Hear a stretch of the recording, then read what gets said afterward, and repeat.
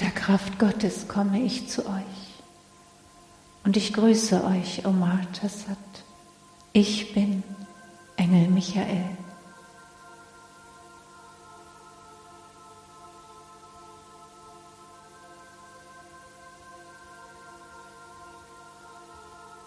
Ich komme, um dir zu helfen,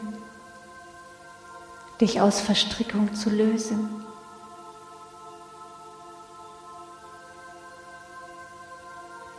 So viel stürmt auf euch ein.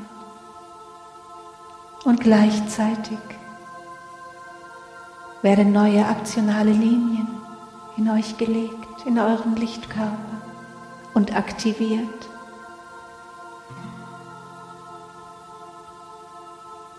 Wundert euch nicht, dass ihr so erschöpft seid.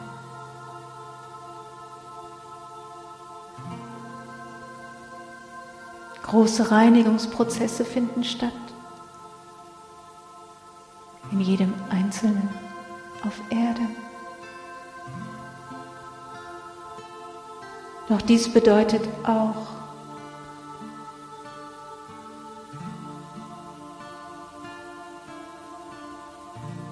dass eure Begrenzungen fühlbar werden,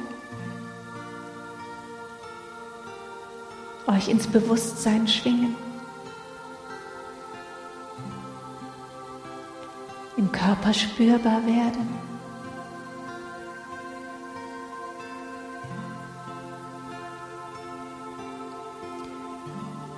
Das Licht und das Dunkel aus dem Kollektiv.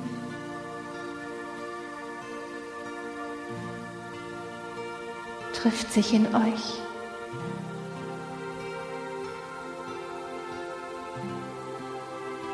Das Licht aus den hohen Reichen, das euch läutern möchte, euch Bewusstsein und Erkenntnis bringen möchte. Und das Dunkel, das in euch noch verborgen ist, steigt auf.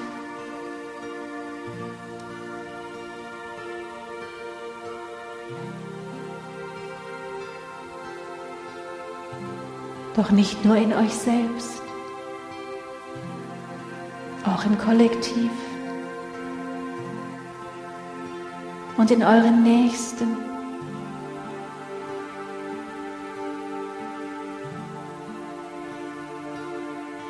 finden dieselben Prozesse statt. Doch nicht jeder erlebt sie auf die gleiche Weise.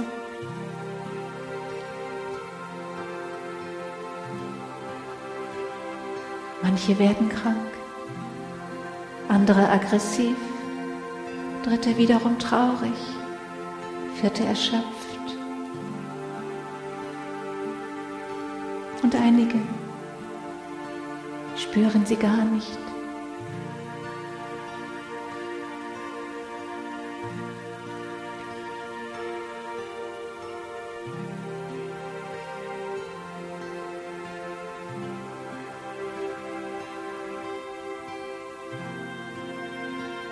Helfen kann euch in dieser Zeit, wenn ihr ganz bei euch selbst seid.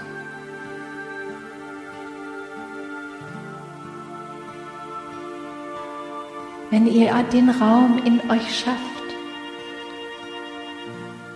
wo ihr mit euch selbst eins seid.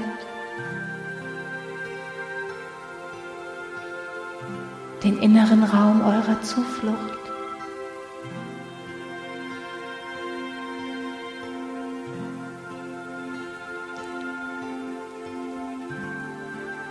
Und nichts kann in diesen Zeiten wichtiger sein für euch als euch dorthin zu begeben, in diesen inneren heiligen Raum in euch selbst.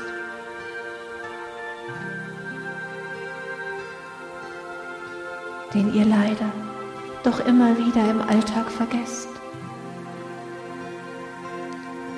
weil ihr euch zu sehr im Außen bewegt, eure Energien zu anderen fließen vergesst ihr euch oft selbst. Die Kunst ist, für andere da sein zu können und sich selbst dennoch nicht zu vergessen.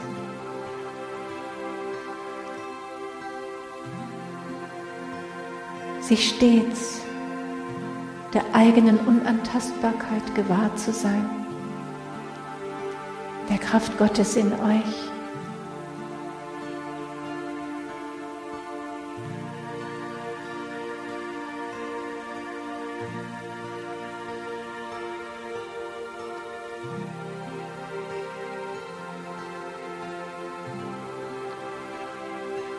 in diesem Raum eurer Heiligkeit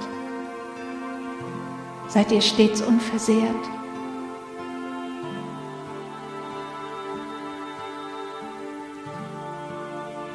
Seid ihr stets im Gleichgewicht.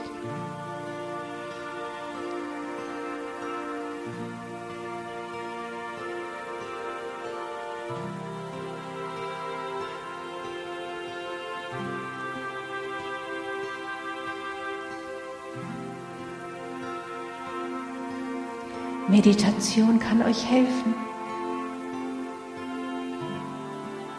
Aber tatsächlich ist sie nicht immer der beste Weg.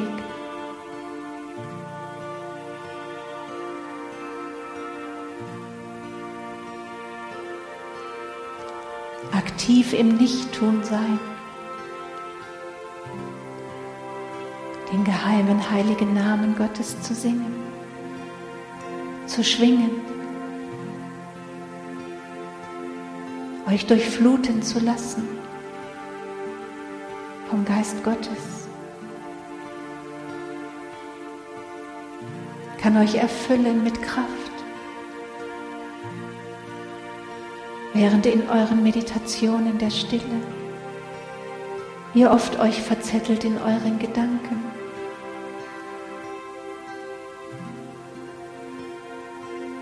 so kann das Singen des geheimen Namen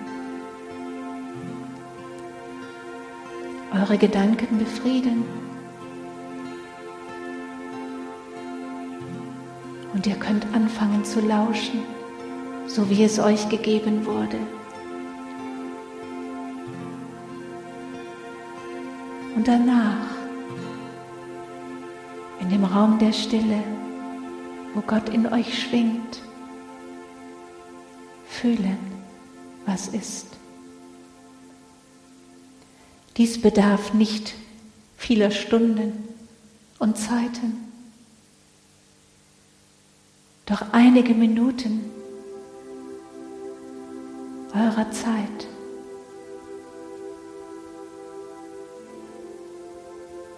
Ist nicht zu viel verlangt. Es ist eine Frage der Koordination und der Absicht.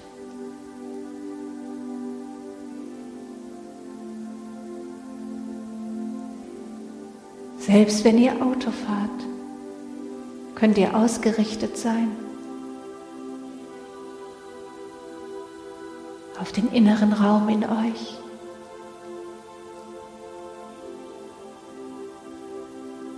Selbst wenn ihr putzt und kocht, könnt ihr ausgerichtet sein auf den inneren Raum in euch.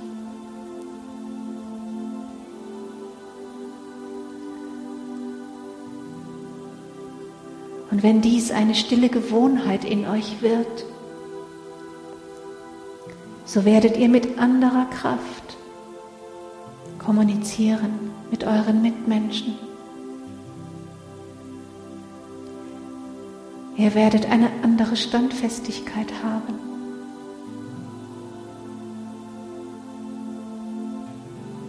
Es wird euch nicht mehr so erschöpfen.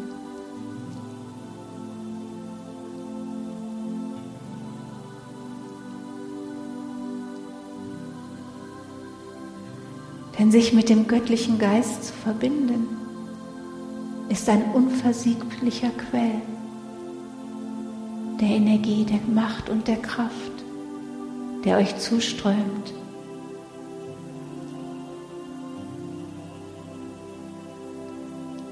Es kann euch geschehen, dass Müdigkeit wie weggeblasen ist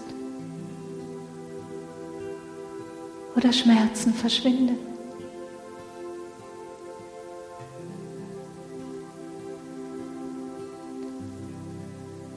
Doch einige Minuten eurer Zeit.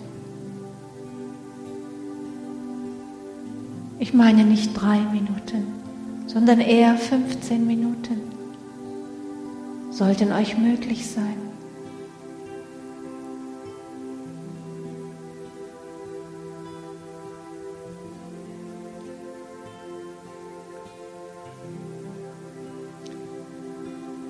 Erzengel Michael lädt dich ein, mich zu rufen in deinem Alltag, das orangerote Feuer durch dein Haus schwingen zu lassen, um die Energien zu reinigen, damit du wieder Klarheit hast und mehr Leichtigkeit.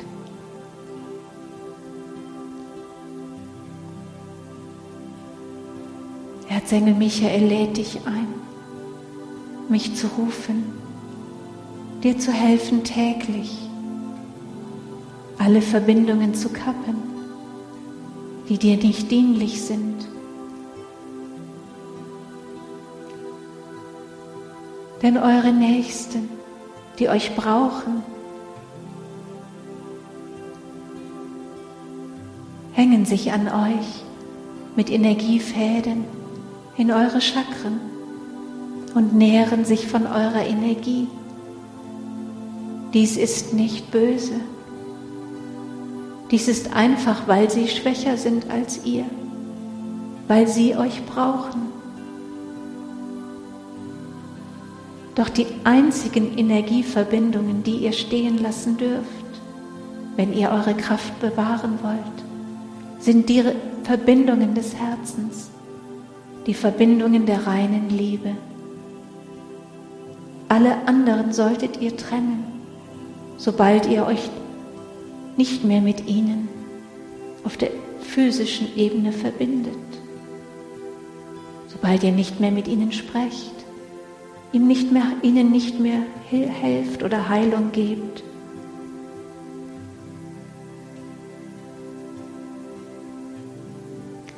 Denn diese Energieverbindungen, die sich in euch angehängt haben von so vielen Menschen, zehren an eurer Kraft. Und die Wahrheit ist, sie sind nicht für den anderen dienlich, genauso wenig wie für dich selbst.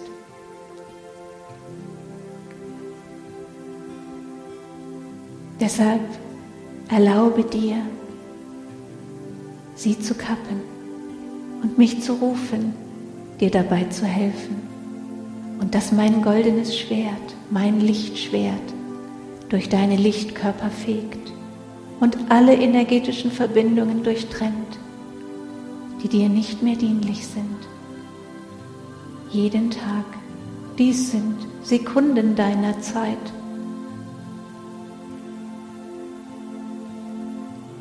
Dies sind Sekunden deiner Zeit.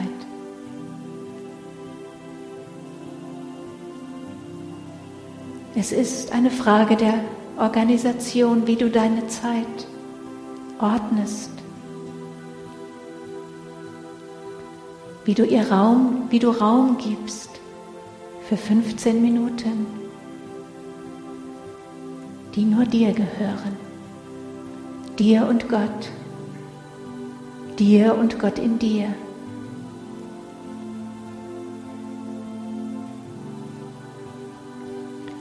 Diese wenigen Minuten deiner Zeit bewirken so unendlich viel.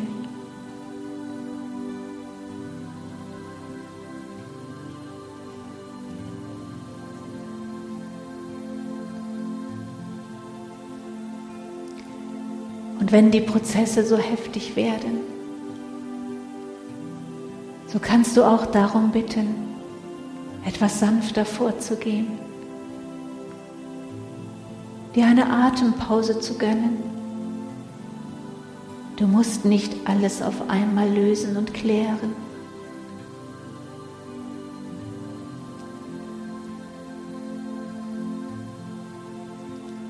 Werde auch Schöpfer in der Weise, dass du dein Tempo bestimmst. Doch all dies ist eine Frage deiner klaren Absicht, deiner klaren Absicht, Schöpfer zu sein, Herrscherin in deinem eigenen Raum.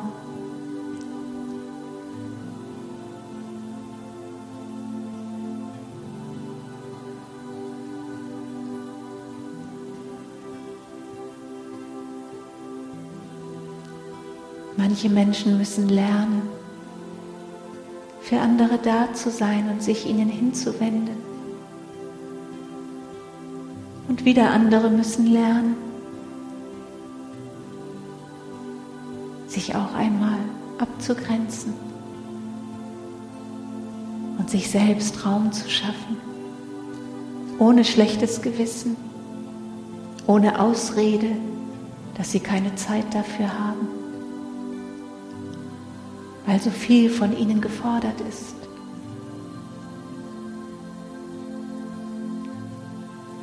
Denn Geliebte, ihr lebt in der Polarität und sogar noch in der Dualität. Also ist das Nein genauso wichtig wie das Ja.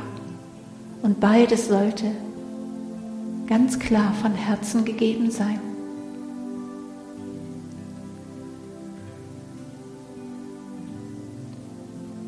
Und wie oft sagen wir euch, setzt euch nicht unter Druck.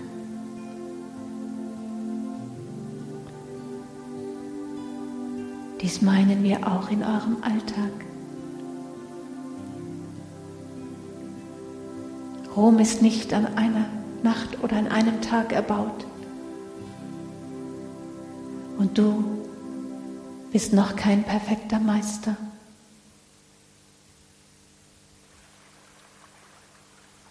Erkenne deine Grenzen genauso wie deine Stärke. Und liebe dich, so wie du bist.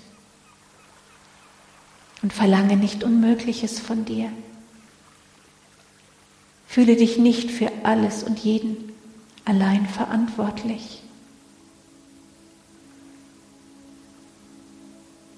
Wisse, die größte Verantwortung, Geliebte, hast du für, dein, für deine Verabredung mit dir selbst, für deine Verabredung mit Gott in dir.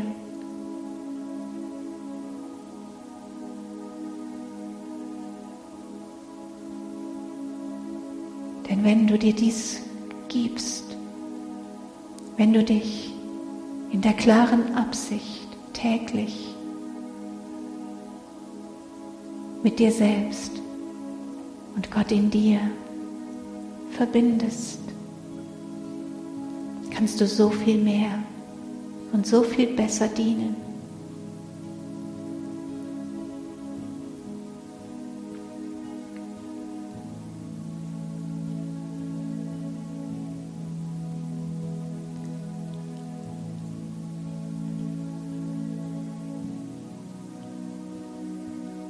Es auch so machen, dass du so und so viele Tage die Woche eine Viertelstunde dir nimmst für dich selbst, für deine Verabredung mit Gott in dir. Und den Rest der Woche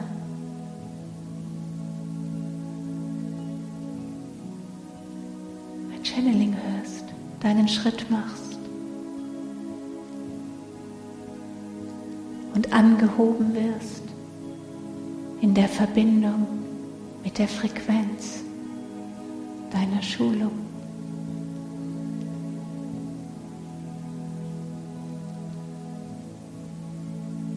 Einen Tag die Woche, ist das zu viel?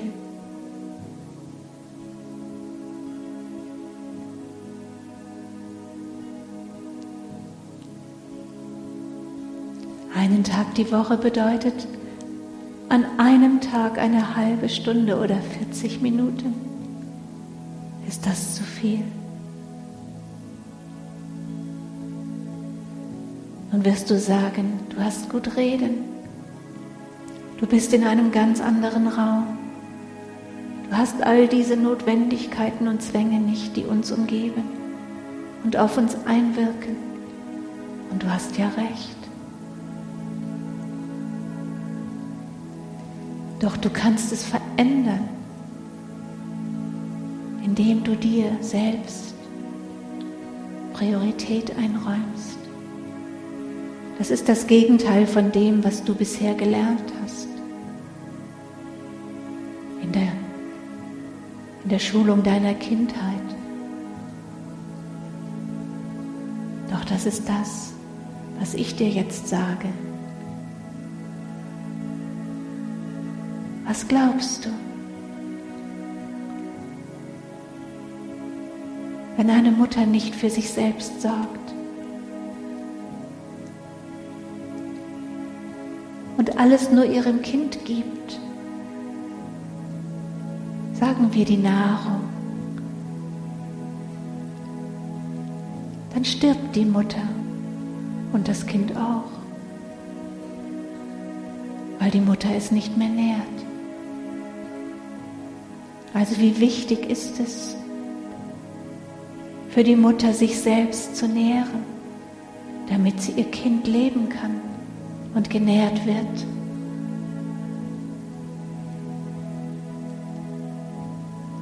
Und du bist die Mutter und du bist auch das Kind.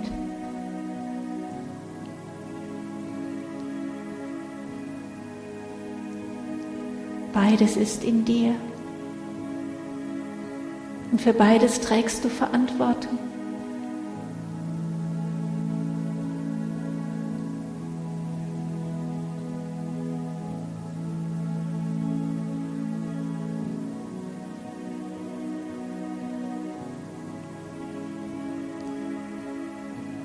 Erzengel Michael, lässt das blaue Licht in diesen Raum fließen. Und mit dem blauen Strahl lasse ich die Kraft Gottes einströmen. Die Kraft Gottes einströmen.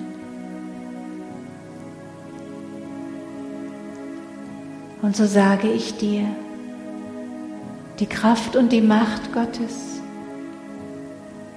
ist ebenso wichtig wie die Liebe, die Liebe Gottes. Benutzt die Kraft und die Macht Gottes, um dich, die Gott, deine Gotteskraft in dir zu lieben. Um dich selbst und Gott in dir zu lieben. Und diese Macht drückt sich aus durch deine Absicht.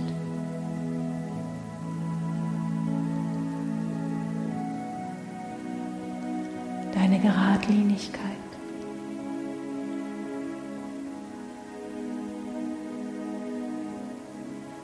Und der Erzengel Michael lässt nun energetisch sein Lichtschwert in deine Wirbelsäule schwingen, dass es dich aufrichte in die Kraft und Macht deiner selbst. In die Kraft und Macht der klaren Absicht.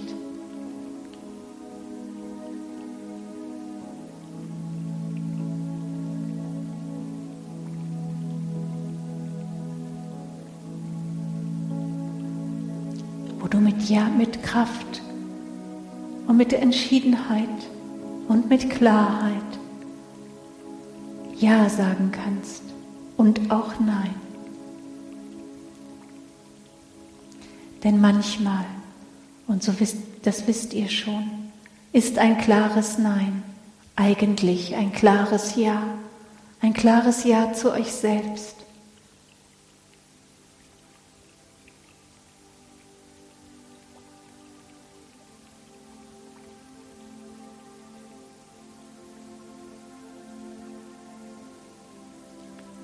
So erlaube,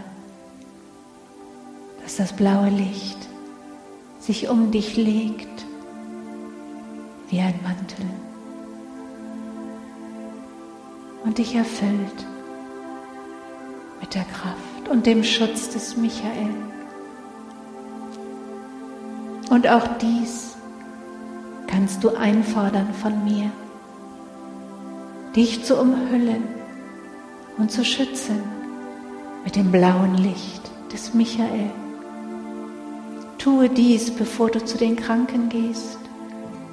Tue dies, bevor du zu Menschen gehst, die dich brauchen. Tue dies, bevor du die Anforderungen des Tages angehst, um deine Kraft zu bewahren und wirklich Kraft zu haben für andere.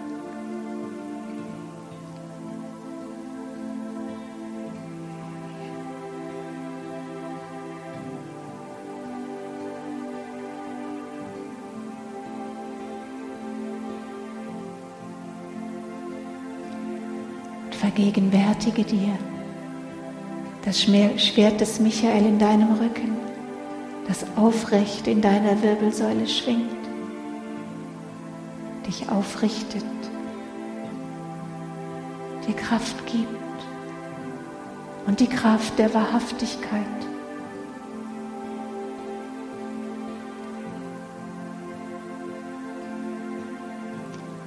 Denn wisse, je klarer, wahrhaftiger und stärker du bist, desto mehr können andere von dir bekommen, ohne dich zu erschöpfen, ohne dich zu erschöpfen.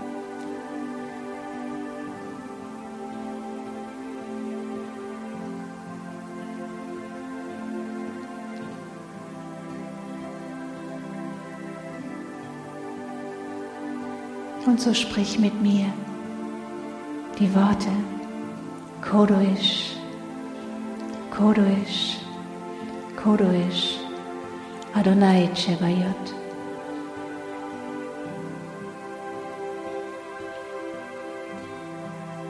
Gott ist Kraft.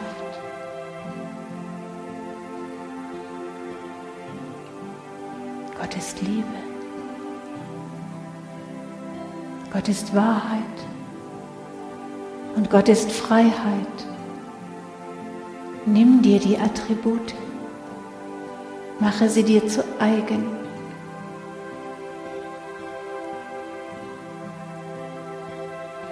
Denn du bist der Ausdruck Gottes. Du bist der lebendige Ausdruck Gottes auf Erden. Also ist die Kraft Gottes dein.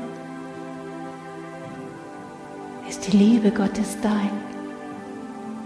Ist die Wahrheit Gottes dein. Ist die Freiheit Gottes dein. Alles andere ist Illusion. Alles andere ist Verstrickung. Löse dich von den falschen Bindungen. Und erkenne dich in Freiheit an. Erkenne dich in Freiheit an.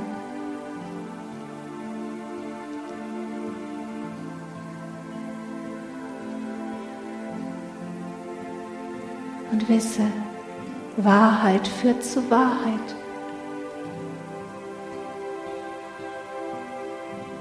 Und manchmal muss sie nicht erklärt werden. Es reicht, dass sie ist, was sie ist. So fühle dich niemals schuldig, weil du Wahrheit folgst in dir.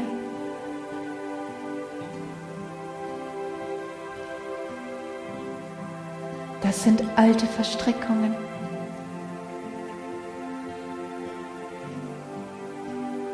Das sind alte Konditionen, Konditionierungen. Doch du Seele bist einen weiten Weg gegangen und hast noch einen weiten Weg vor dir. Und es ist jetzt die Zeit, sich zu befreien. Es ist jetzt die Zeit, dich zu befreien.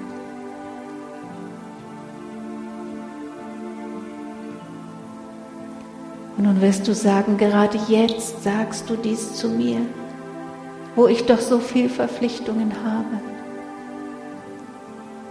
Ja, gerade jetzt sage ich dies zu dir.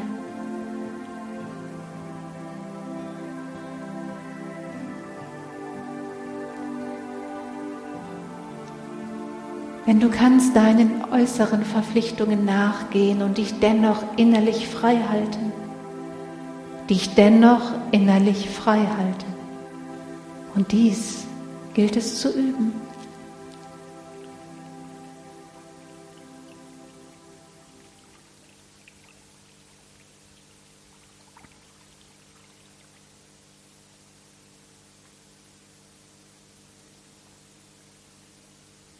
Und so biete ich dir noch einmal an, rufe mich zu jeder Zeit wann immer du meine Unterstützung brauchst.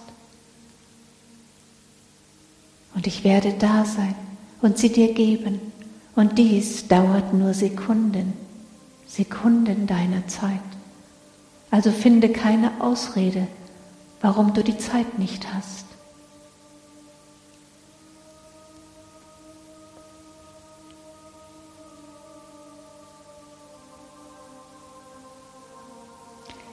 Denn ich bin dein Freund. Ich bin dein Beschützer. Behandle mich wie einen Freund. Behandle mich wie deinen Beschützer. Lasse mich teilhaben an deinem Leben. Und du wirst sehen, du wirst stärker und kräftiger werden und freier.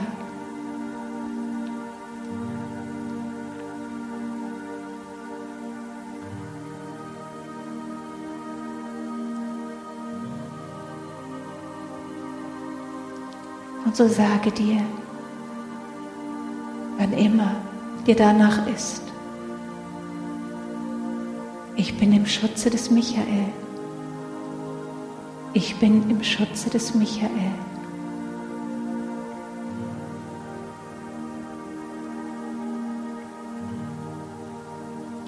Und fühle die Kraft, die in diesen Worten liegt.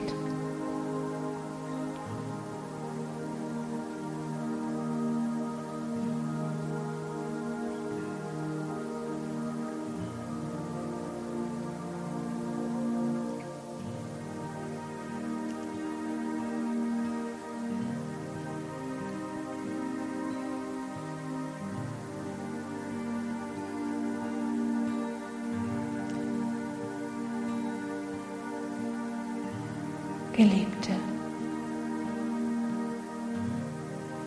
sprich mit mir in deiner Seele. Sprich mit mir in deinem Herzen. Jetzt, was du dir ersehnst von mir.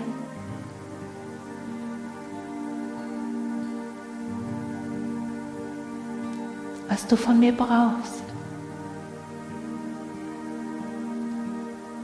um deinen Alltag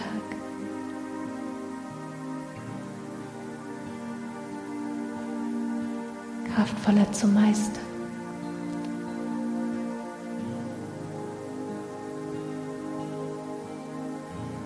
Und wisse,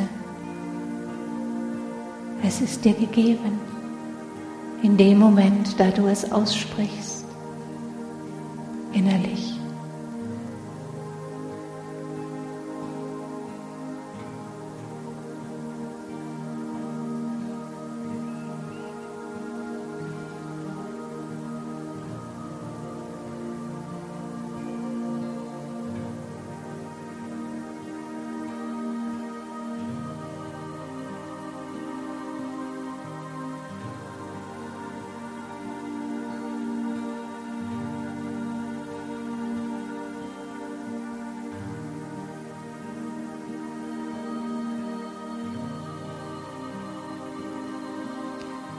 Wisse, auch wenn ich manchmal streng erscheine, so bin ich doch reine Liebe. Und meine Kraft ist unendlich allmächtig.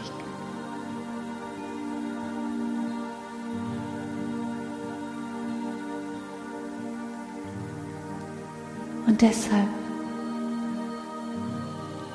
lasse ich jetzt Gottes Allmacht fließen, dass du dich näherst, dass du davon trinkst, dass du dich dort hineinbettest.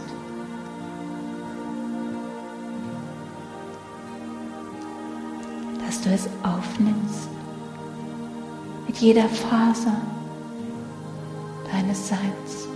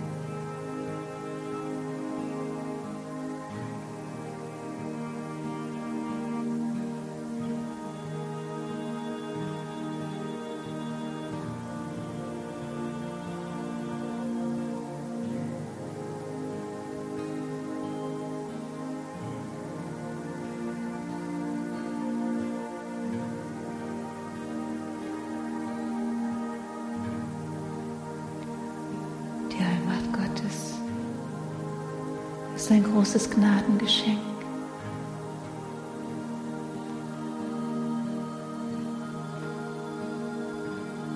Und alle Wesen lieben es, wenn sie ausgeschüttet wird und versammeln sich, um sie zu empfangen.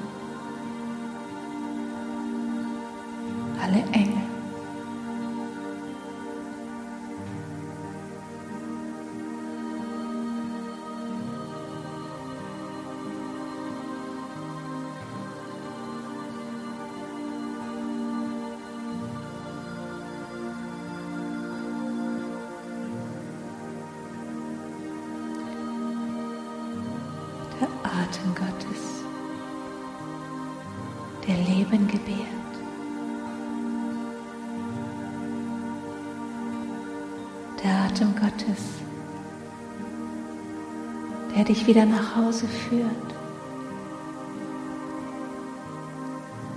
sodass du eines Tages in Gott eingehen kannst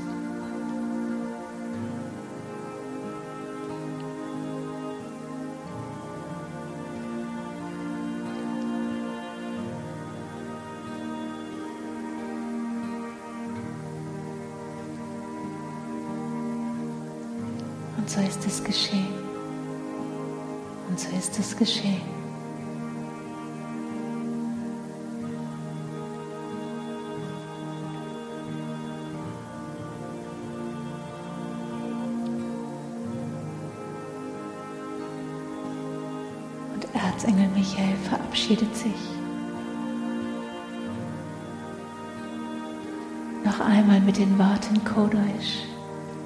Kodosh, Kodosh, Adonai Chevayot.